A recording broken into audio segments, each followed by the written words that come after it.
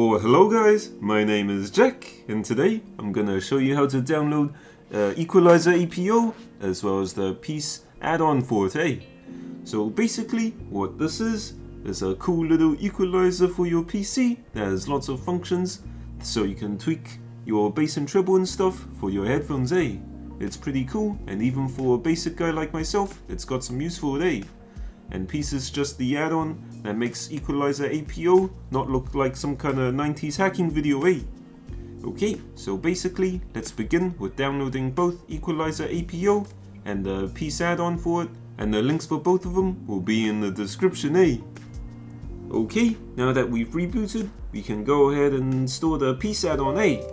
So let's go ahead and start this up. As you can see, it checks if Equalizer APO is installed, and in my case, it says it is indeed installed, eh? So that's pretty cool. Anyway, just make sure that this, uh, this all checks out.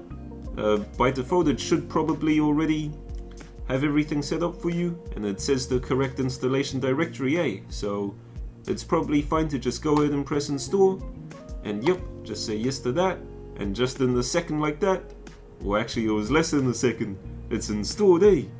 So that's pretty cool. You can go ahead and start Peace.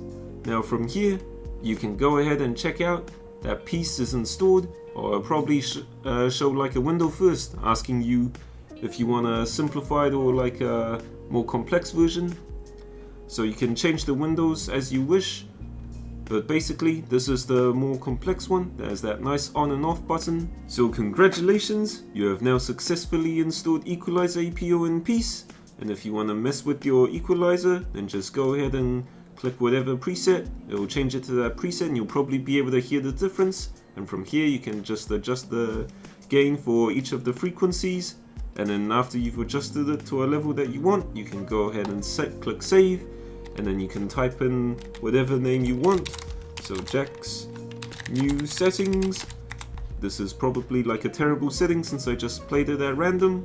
I just slid them around randomly and then after you click save, it'll save it to the configured settings down here. So that's pretty cool, eh? Uh, anyway, I don't know much about this, so what I'm about to say is probably wrong, but that's just what I've learned so far, eh? You can press the add slider and delete slider to add and delete the one on the rightmost side, or you can press add to add one, eh? So that'll add more frequencies, you can have more options to adjust, eh? And if you got like a set of pretty nice headphones, or like a set of decent ones, there's this nice guide on Reddit that you can use to uh, get some custom settings, eh, for your headphones. So basically, I'll link this in the description, and you can go check the list, and go down here and find the headphones that you have. In my case, or let's do an example of the uh, Sennheiser HD 560SA. So you just go down to the headphones you have.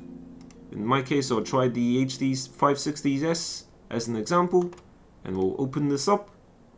Oh yeah, some pretty complicated graphs, eh? But I think the important part is down here, where it says filter settings.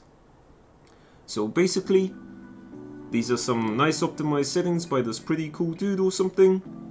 And what you want to do is you want to load the settings into here, eh? So basically, the column that says filter type would be this part here, eh? That says filter. And if it says peak, it's this blue one. If it says low shelf, it's this low shelf filter, eh? And that's that red one. You can change it to that. So I don't know if there's a quicker way of doing this, but lately I've been doing this all manually, and it's kind of a chore, eh? So if there's a quicker way, I'll probably have to learn that.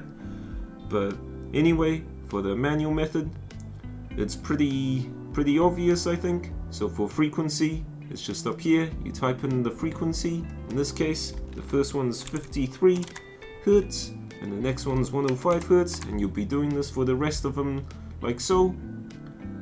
Or let's see, there's about 10 bands here. Do I have 10? Or I don't know, eh? We'll just count them after we finish. Or whatever. If it's like 11 bands and the 10,000 hertz frequency will probably end up here or here or something. As for the gain, or just type it in, A For each one. And the quality, yep, that's the Q factor. Just type it in here, eh? And the BW, that's I think that's the same thing as the quality factor but for like a different application maybe. So you can probably ignore that if you have this version of Peace. So anyway, after you've done all that manually, which is such a super duper chore, you can probably have some nice optimized headphone settings, eh? But then again, it's not for everyone, and the sound you create will probably not be equal to the sound that you desire. So best case, or my recommendation, is to just play around with the sliders until you're happy, eh? That way you can have your very own custom settings and a cool new app that you can go ahead and learn how to use and you'll probably know it better than me, eh? Well anyway, that's pretty much it for the tutorial. My name has been Jack and I'll see you in the next video, eh? Or peace!